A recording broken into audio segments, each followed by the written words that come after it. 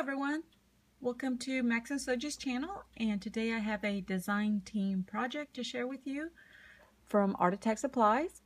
And uh, Tracy sent me the bedtime story collection which included this 6x6 paper pad, the chipboard pieces, a pack of flowers, and also uh, some tags.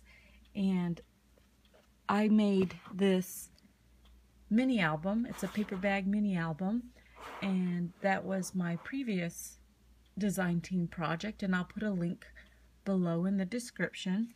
But I wanted to show you that because I also made a matching card to go with that. So let me show you my card. It's an easel card.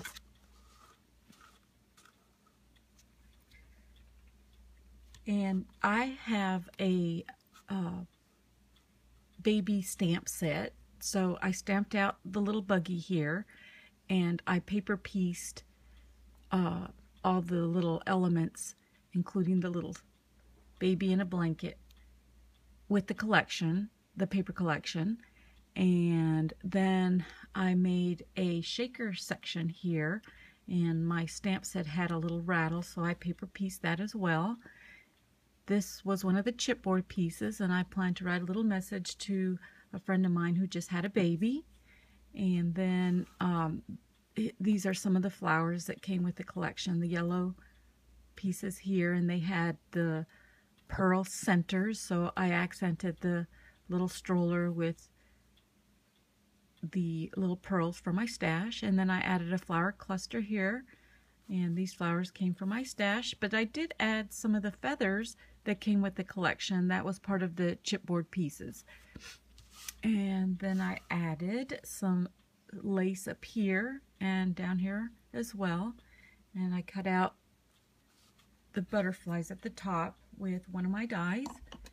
And then here's the area where you could also write a little message. And that is my easel card